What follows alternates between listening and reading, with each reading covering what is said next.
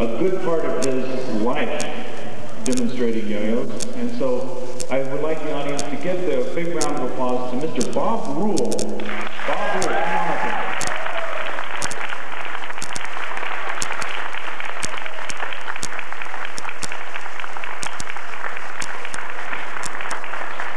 Now, Lucky Meisenheimer prepared a great speech, but he left it in his other suit, and he left himself with it. But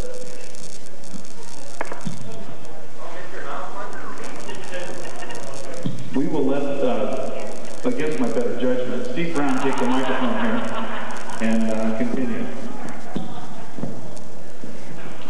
A lot of us, when we're kids, always want to be something else when we grow up. When I was five years old, I wanted to be an astronaut. When I was 10 years old, I wanted to be Batman. And when I was 20 years old, I wanted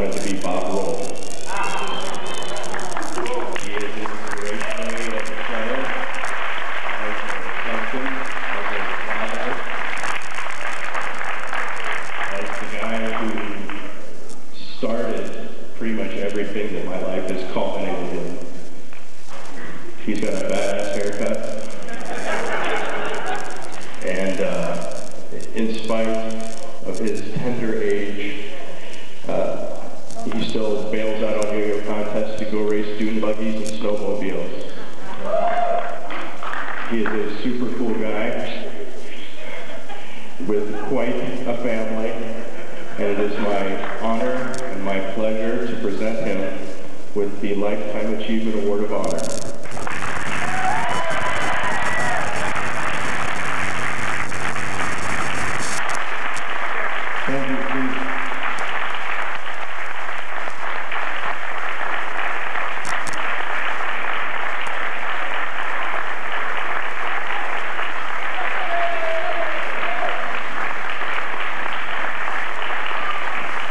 Family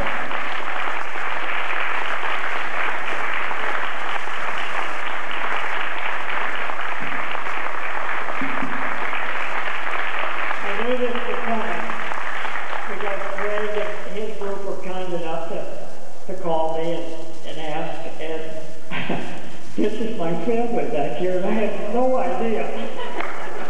My son and my daughter, all all, these cute little grandkids. This is Campo. This is outstanding, I just can't, I do want to thank two people. Uh, Barney Akers, I was fortunate enough to grow up in Detroit, and Barney was, was my God. And I was very fortunate right near the end of his lifetime to be, appeared on the Smothers Brothers show with him, and, uh, and that was just one of my highlights. And another fellow that's here tonight, who was my mentor and taught me to play, he worked for Barney Akers, where's Bill King? There's Bill. Let's give Bill a hand because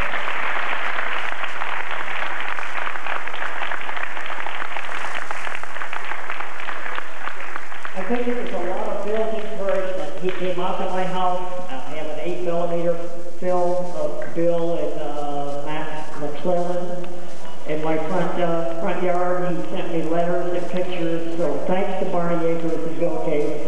And damn sure thanks to my family. Thank you.